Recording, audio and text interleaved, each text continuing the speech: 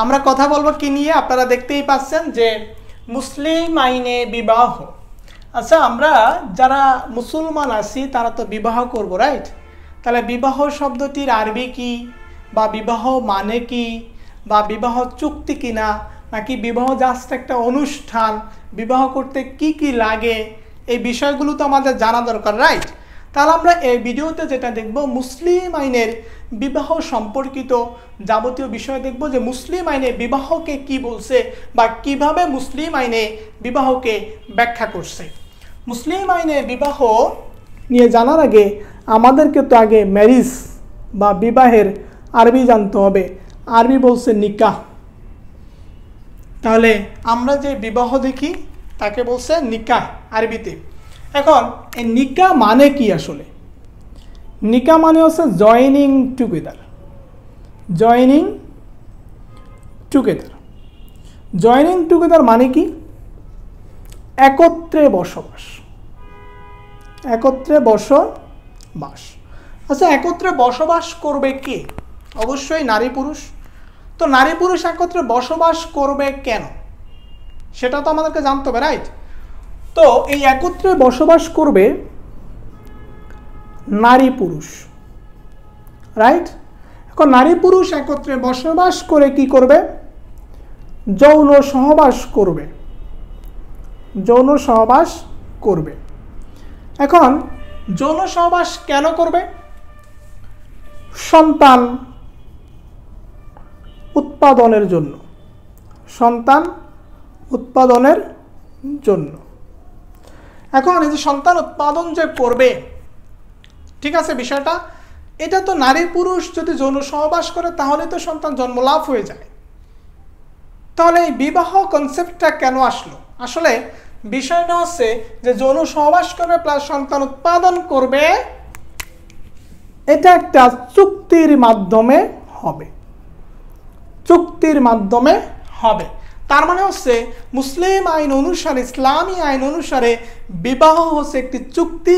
যে চুক্তি অনুসারে নারী পুরুষ যৌন সহবাস করবে এবং সন্তান জন্ম দিবে। তার মানে সন্তান যে যেটা হবে সেটা হচ্ছে বৈধ সন্তান। ঠিক না বিষয়টা? আমরা বিবাহের প্রকারভেদ দেখব পরবর্তী ভিডিওতে। তাহলে আমরা বলতে পারি যে মুসলিম আইন অনুসারে নিকা ইজ এ কন্ট্রাক্ট মানে বিবাহ হচ্ছে একটা চুক্তি, যে চুক্তির বলে যৌন সহবাস হবে এবং সন্তান জন্মলাভ করবে। ক্লিয়ার বিষয়টা? এখন, এই বিবাহকে যে মুসলিম আইনের চুক্তি বলছে, কেন বলছে? এটা তো আমাদেরকে জানতে হবে রাইট চুক্তি হওয়ার জন্য আমাদের কি লাগে? চুক্তি হওয়ার জন্য আমাদের লাগে, তাহলে আমাদেরকে চুক্তির উপাদান দেখতে হবে। মানে মুসলিম আইনে বিবাহকে যে চুক্তি বলছে, তাহলে চুক্তির উপাদান তো জানতে হবে রাইট মানে চুক্তি হওয়ার জন্য কি কি লাগে? চুক্তি হওয়ার জন্য লাগে হচ্ছে প্রস্তাব। কি লাগে? প্রস্তাব। এটাকে আরবিতে বলে ইজাফ। ক্লিয়ার বিষয়টা? তারপরে লাগে গ্রহণ। এটাকে আরবিতে বলে কবুল। ক্লিয়ার বিষয়টা? আর কি লাগে? সাক্ষীদের উপস্থিতি। সাক্ষী লাগে আর কি। সাক্ষীদের উপস্থিতি।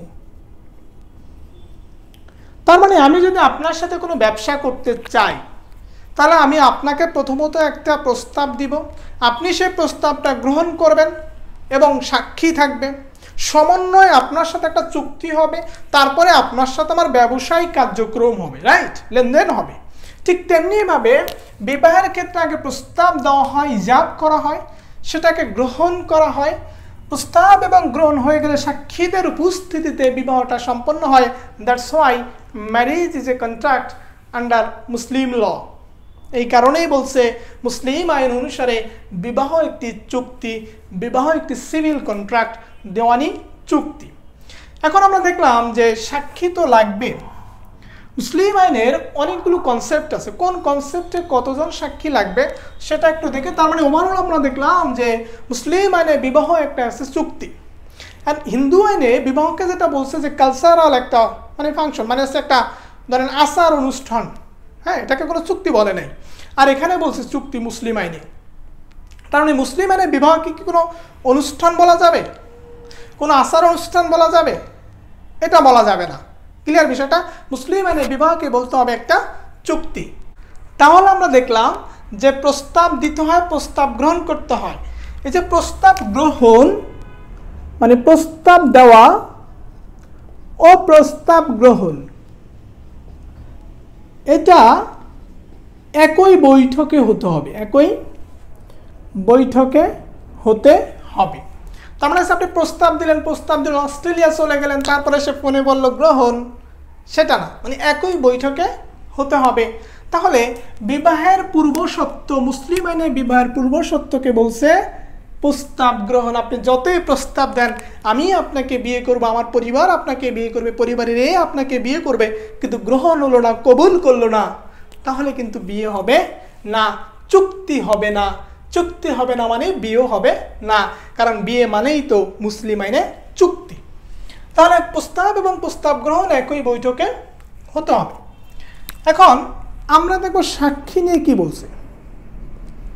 এ প্রস্তাব গ্রহণ এবং প্রস্তাব দেওয়া দুটি যখন একই বৈঠকে হবে, তখন প্রাপ্তবয়স্ক সাক্ষী উপস্থিত থাকবে। সাক্ষী তখন উপস্থিত থাকবে। আমরা জানি যে মুসলিম আইনে অনেক কনসেপ্ট আছে। যেন হানাফি আইন কি বলছে?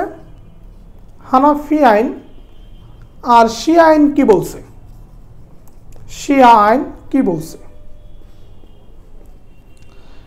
হিন্দু আইনে যেমন অনেক মতবাদ আছে, তেমনি মুসলিম আইনেও কিন্তু অনেক মতবাদ আছে।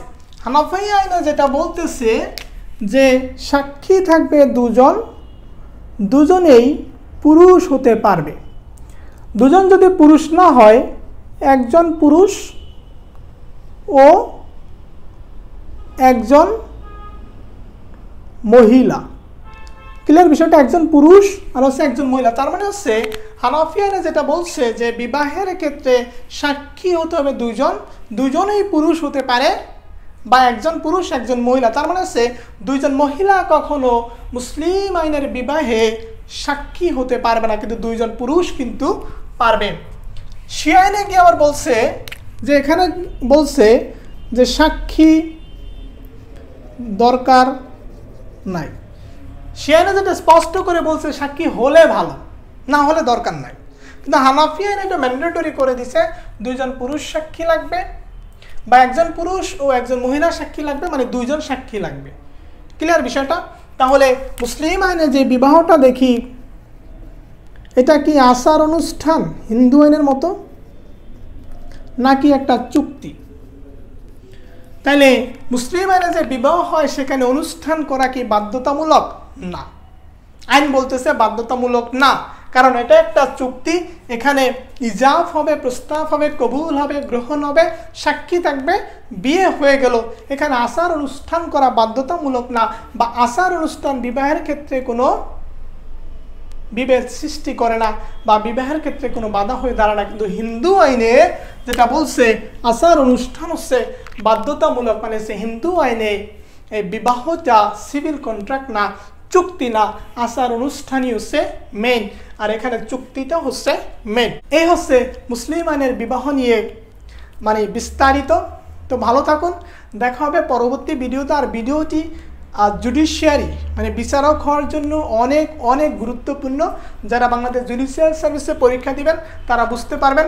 ভালো থাকুন, দেখা হবে পরবর্তী ভিডিওতে।